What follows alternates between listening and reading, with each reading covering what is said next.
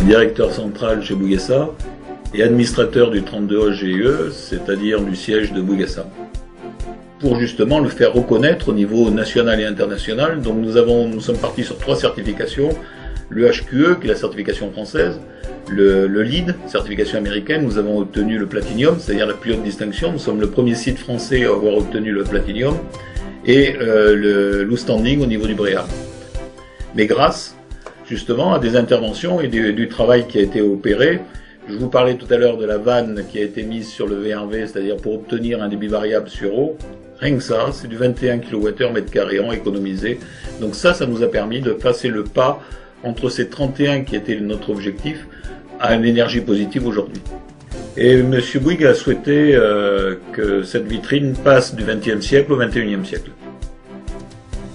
Il faut savoir que le site de Challenger, au niveau de l'installation de CVC, est composé d'une boucle d'eau qui vient irriguer un ensemble de pompes à chaleur eau-air.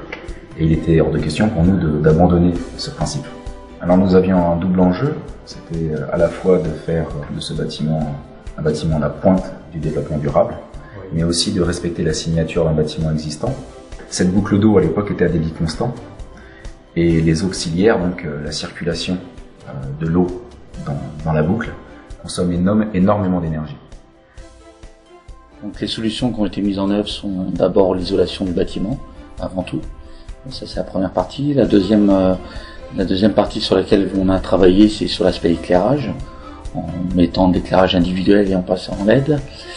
Le troisième sujet, c'est euh, la partie euh, solaire, photovoltaïque, thermique, où on a installé 25 000 m2 de panneaux solaires et 180 euh, panneaux thermiques mixtes, une nouvelle technologie.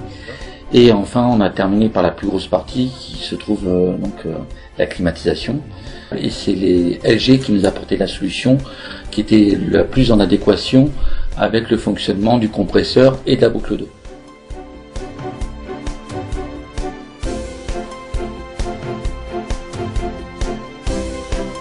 Alors, ce qu'il faut savoir, c'est que cette boucle d'eau, elle fait 1200 mètres cubeurs en débit maxi pour euh, une capacité très pointe du site. On arrive à descendre à 200 mètres cubeurs. 300 mètres cubeurs, on peut, partir du principe qu'il y a une bonne division hein, par 4 des consommations électriques au niveau des auxiliaires. C'est quelque chose de très important parce qu'on économise 20 kWh d'énergie primaire par an, par mètre carré, ce qui représente à peu près l'écart d'un bâtiment BBC de bonne facture avec un bâtiment à énergie positive.